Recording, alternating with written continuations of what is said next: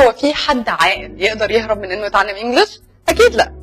الحياة كلها دلوقتي ما تنفعش من غير English بس لما تروح تتعلم في مكان وما تلاقيش الخمس حاجات اللي هقول لك عليهم دول اهرب.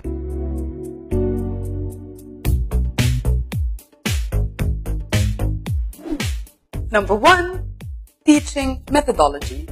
ما تدخلش ال class وانت مش عارف انت هتعمل إيه ولا حتى حاسس ال teacher اللي قدامك عارف هو بيعمل إيه كويس.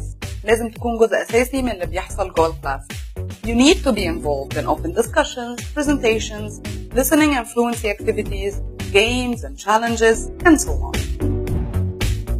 Number two, breaking the ice. أو بمعنى تاني حل مشكلة ال embarrassment. لازم من أول class تحس إن ال teacher بيقضي على أي خوف جواك من إنك تتكلم English وبيديك ثقة كاملة في إنك تغلط وتعافر وتحاول تتكلم وبيخلق chemistry بينك وبينه وتخليك دايما واثق في نفسك وفيه. Number 3 entertaining education. على فكرة زمن التعليم ال academic ده خلاص راحت عليه بالنسبة للأطفال أو حتى الكبار. والناس دلوقتي بتستقبل أهم معلومات في حياتها من خلال ال games والأغاني وال role plays اللي بتحصل في بيئة التدريس.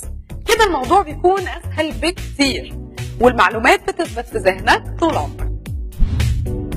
Number 4 Teaching grammar for speaking. ما تسمحش لنفسك ابدا إنك تتعلم جرامر في طريقه المدارس عمرنا ما حبيناها. لازم تتعلم بطريقة سهلة وبسيطة في كلامك العادي. When you're mixing past, present and future tenses وبتستخدمهم في حياتك اليومية. Number 5 community and opportunity. لازم تحس إن البيئة المحيطة بيك بتساعدك إنك تتعلم وتمارس ال English بشكل يومي. في النهاية التعليم مش حضور وغياب وبس لازم يكون في native teachers بيعلموك النطق الصح ويخلوك تغوص في تفاصيل وثقافة اللغة كمان مش كده وبس لازم ال community ده يقدم لك كل الحلول المتعلقة بال English زي السفر وفرص العمل وإزاي يكون ال English هو ال lifestyle بتاعك ويحقق لك حياة أفضل. I think this is everything you need to know to be on the right track. See you soon!